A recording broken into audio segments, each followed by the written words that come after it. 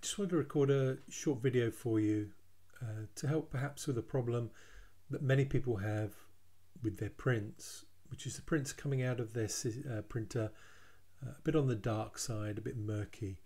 Uh, and there are a number of factors which cause this. Um, the principal one is people having their monitors way too bright in the brightness settings. Now I'll assume that you've already calibrated your system with a, a monitor calibration device, uh, which is a really important thing to do because that will uh, set the colors correctly uh, according to uh, the ICC system. So uh, all the colors will be profiled accurately. So the different components in your system, the monitor and the printer and the paper profiles, they'll all be talking the same language. Um, and the profile should really set the brightness of your monitor more accurately. Um, but if uh, the, the, the system is not really uh, talking to each other correctly, sometimes these profiling systems, I think, still set the monitor a little bit too bright still. So if your uh, profiling software allows you to enter the monitor brightness manually, uh, and often the calibration software will let you just go into the uh, the, the, profiling uh, uh, wizard as it's running and let you do it manually, I would encourage you to do that.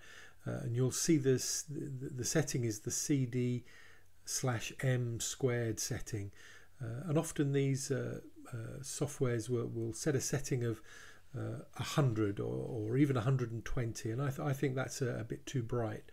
my settings are often around 80 or 90 and I think that's a bit closer to the brightness of paper.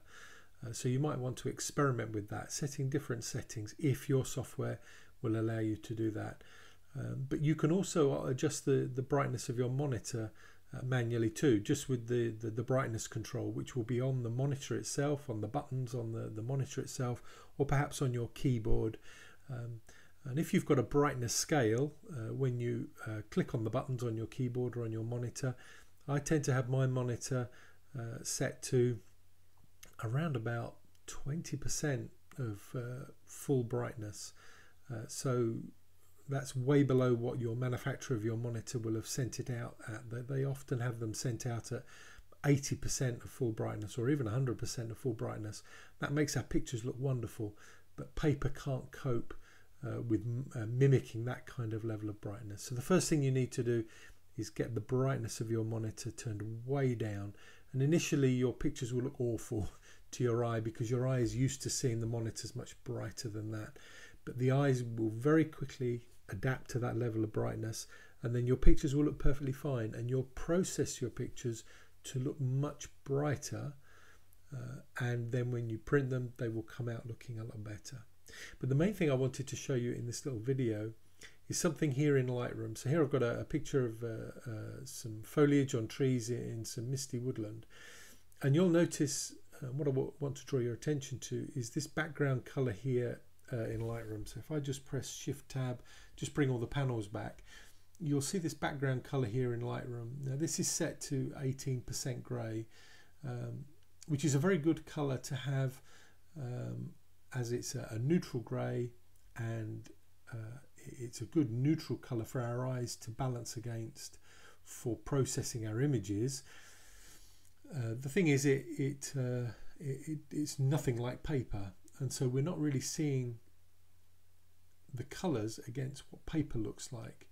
Um, so while it's good for processing our images from the point of view of colour accuracy, it's not very good for seeing uh, the colours as they will look against paper, particularly as we often have a white border around our images. Now in Lightroom we can right click that background and you'll see here it says background color and it gives us a whole range of colors that we can set that background color to. Um, from memory I think that Lightroom comes with medium grey as the default uh, color. Now a lot of people have black as the background color because that makes our pictures look amazing. Now I'm just going to press shift tab on the keyboard and that gets rid of all the panels in Lightroom. And that's just so that you can see the picture full screen here. Uh, and you can see that when you have a black background beside most pictures, it makes them look really nice. It makes the picture pop. um, and uh, pops out of the uh, screen, makes them look lovely. Um, now that's all very well, but black is a, uh, a not a good colour to process our pictures against. It gives us a, a false sense of what the, the pictures actually look like in reality, and is obviously diametrically opposed. It's the complete opposite of what paper looks like. So when it comes to print, we've processed our pictures at the opposite end of the spectrum to where paper is as regards processing our colour. So I really I wouldn't recommend that we use black as our background colour when processing our pictures. And in actual fact, and this is something I've learned um, from listening to people like Joe Cornish, um, and, and this has changed the way I approach now the processing of my pictures. I will often use, uh, and if I right click again, I'll often look at my pictures with mid grey as the background colour uh, when processing my pictures but particularly when I get to the proofing stage and when I'm approaching printing my pictures I will switch over to white as my background colour now I'm seeing the picture against in effect white paper now this is this is pure white so this is white without any uh, warmth in it or any blueness in it.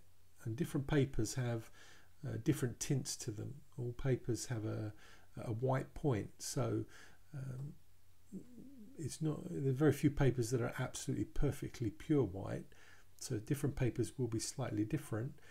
But this is uh, going to give us a closer approximation of what our paper is going to, how it's going to affect what our pictures look like, particularly as regards brightness. Now, I don't know if you notice and certainly to my eye, when now when I see this picture against the white paper, that white now almost looks a sort of a mucky grey to me, and it's the effect that this picture is having uh, on the background colour, and it has made the picture look dingier to me. So although when I processed it with medium grey, the picture looked perfectly fine to me. Now when I put it against white, the picture looks a bit dull and lackluster. And now I feel that when I look at this picture, actually the picture needs more contrast. It needs more brightness in the leaves. The leaves have lost their sparkle, um, and the the mist has gone a very dull grey to me. Um, if you go to black, the picture looks much punchier. Um, um but when I go to white, it's lost a lot of its uh, impact. And so I'd recommend that, especially as you move towards the printing part of uh, preparing your pictures that you certainly consider flicking over to a white background and maybe through your entire processing uh, process you use white as your background color for processing your images it perhaps doesn't make them look as good but it's a more accurate reflection of what they're going to look like when they're printed and for those of us that are interested uh, ultimately in the print as the um, sort of final realization of our pictures. Uh, this is more important to us than anything, and perhaps ought to be the most important thing to us rather than the pictures looking good on a screen. We're more interested in what they look like as a print. And so, for me, certainly, um, I've listened very carefully to what people like Joe Cornish have said, and uh, I've moved to this approach of using white as my background uh, much more of the time through my process of uh, preparing my images um, and much less of the time I spend in medium grey. Uh, and I never use black. The only time I use black is when I'm doing sort of slideshows and things like that, uh, when I'm doing uh, presentations, uh, or when I'm just looking at my script pictures on the screen once I finish processing them, because it does make them look really nice. Um, but much more of the time I spend looking at them in white. So hopefully that's perhaps helped. Just a little tip uh, for you when you're preparing your images, and maybe it'll help you overcome uh, these issues or help as another step to overcoming these issues of prints coming out of the printer a bit too dark, a bit too dingy. Maybe it will help you get a bit more contrast, a bit more punch and sparkle into your images uh, and just lift them and make them look more natural on paper uh, and closer to what you've been experiencing on a backlit screen.